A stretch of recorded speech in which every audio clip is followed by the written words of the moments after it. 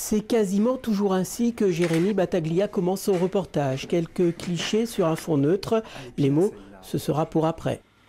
Oui, je commence par les photos. La plupart du temps, ça permet de créer un premier contact euh, assez direct, faut dire, mais ça permet de rapidement cerner si la personne est à l'aise, aussi facilement ou pas. Et visiblement pour Roger le Vilain, qui tient à Port-Louis aux côtés de sa femme un café-librairie, le problème ne se pose pas. Le photographe vidéaste va donc pouvoir rentrer dans le vif du sujet après avoir trouvé le meilleur endroit pour parler élection.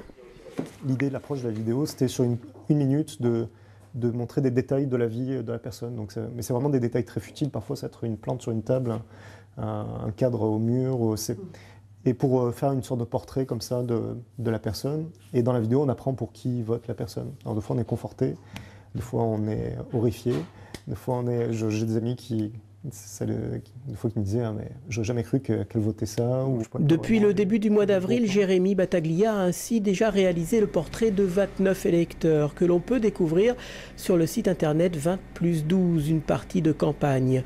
29 personnes aux opinions différentes et qui se livrent sans détour.